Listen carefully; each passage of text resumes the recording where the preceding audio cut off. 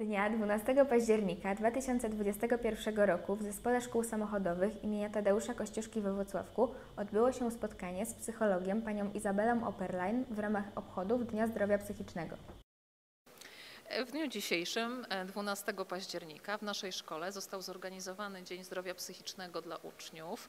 Uczestniczyło w nim 8 klas. E, W ramach takiego spotkania mm, uczyliśmy się tego, czym jest zdrowie psychiczne, określaliśmy sobie zakres elementów, który wpływa na zdrowie psychiczne.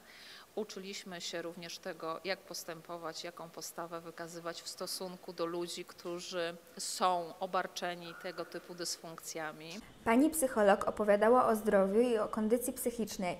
Młodzież dowiedziała się również o miejscach, w których można uzyskać pomoc psychologiczną.